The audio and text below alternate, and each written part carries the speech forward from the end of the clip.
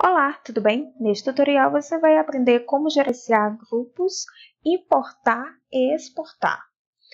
O botão de exportar está disponível para você, o importar ainda não está disponível, está em desenvolvimento, ok?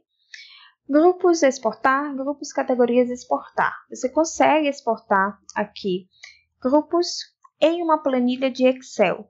Da mesma forma, grupos categorias você consegue exportá-los, ok?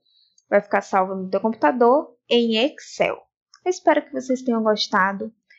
Não esqueçam de dar o like, se inscrevam no canal e fiquem na paz.